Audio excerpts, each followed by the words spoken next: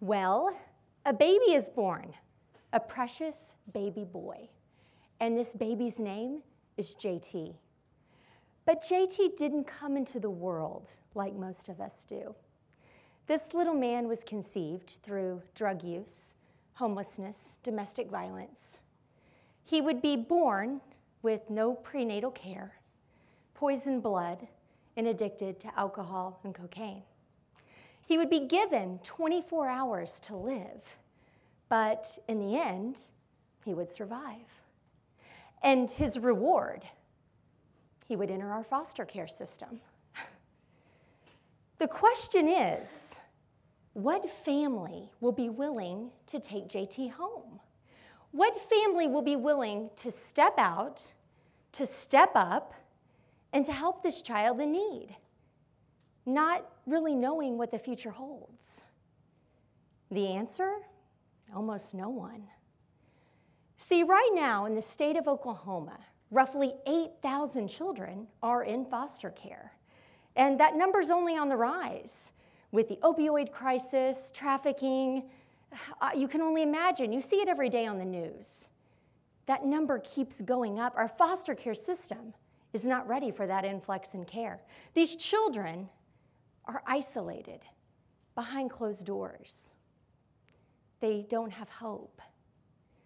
And even, even in the most perfect situation, we find that family. That family's willing to open their heart, willing to open their home. How in the world can we imagine, how in the world could we think that this family would be able to handle those needs on their own? They feel isolated. What if I told you we were able to replace isolation with community.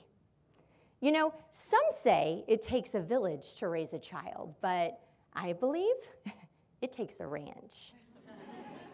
Ladies and gentlemen, my name is Tanya Ratcliffe. I am executive director and mother of many for Pepper's Ranch Foster Care Community. Pepper's Ranch is a foster care community of excellence. We serve Oklahoma foster children from birth to beyond. Right now, on 600 acres, we are a privately funded, debt free community, a neighborhood of foster families, serving sibling groups who, well, once had to be separated by a zip code. Now, they're entering care as a family unit. These foster families are incredible people. The community as a whole is truly equipped with everything you could imagine. The community itself, it's a neighborhood where families are thriving, where children find not only a home, but a family. Now, the families at Pepper's Ranch are pretty special people. And the reason I say that is because they specialize in high capacity living. I know you're like, what in the world? High capacity living, very simply put, they're able to love a lot of kids. And when I say a lot of kids, roughly there's eight children in every home at Pepper's Ranch. You see, 17 families and 130 children call Pepper's Ranch home. Now, eight children, think about it. That's more than the Brady Bunch, right? Move on over, Carol Brady. Though it's these families that are choosing this lifestyle, the kids they didn't choose their history, they didn't choose what happened to them. But these families love them anyway. Can you imagine a child, drug exposure, domestic violence, abandonment, all of these things? But these families say yes. Children who are very special. A very special breed, they're these, have you heard of them? They're called teenagers, right? Some of these teenagers have no hope. Their thought is they're too old to find a home and they're too old to be loved. But our families think otherwise. Now, though it's the families at Pepper's Ranch that make our community unbelievably loving, it's the services support on the community that make our community so therapeutic. So, in the middle, sitting right in the center of our community, is an 11,000 square foot learning center. This is where success in education takes flight through academic tutoring, where art therapy heals hearts from traumatic events that children really wish they could just forget, where Children interact with gentle giants in a 30,000 square foot equestrian center, learning hope and learning trust and learning respect again.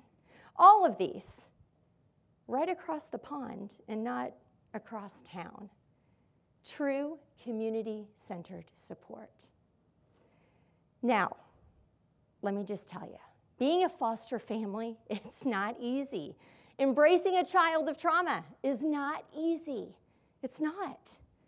But can you imagine having 17 families, your neighbors, who walk your walk and talk your talk every single day?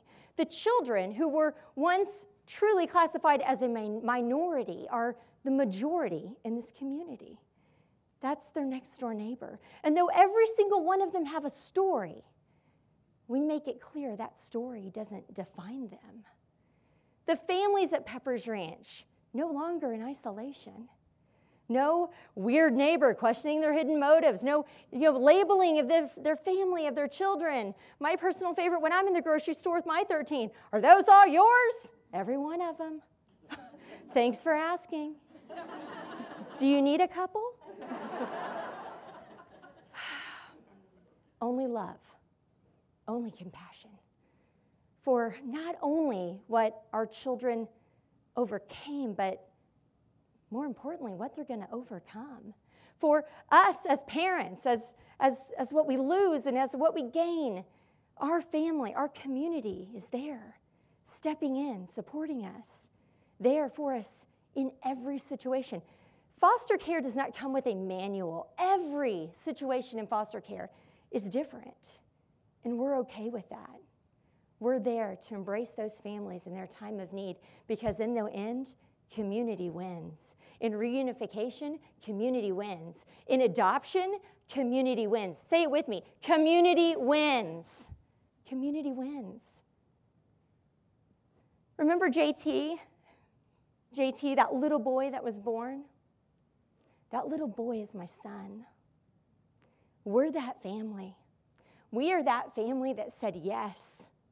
We are that family that took that road of uncertainty, and thank God we did, because that little man makes us better people every single day. And what he will become is going to be something spectacular. And he will not reproduce a statistic, he will produce success. And I know that as his mother. The families at Pepper's Ranch live where community wins.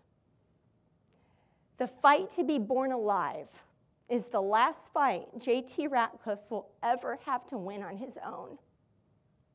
Because that little guy will win with a community behind him every day until the day he dies. And that is a win. Pepper's Ranch is a complete, a complete disruption of the foster care status quo.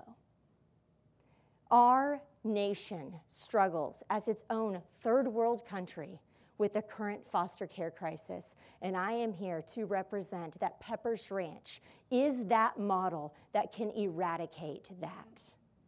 It is through our community. because community wins. And so that child, that child that, you know, people think, oh, they're looking for a house. No, friends, they're looking for more. They're looking for a home. They're looking for a community, and then they're looking for a family because in the end, they will win. We are Pepper's Ranch. Welcome home.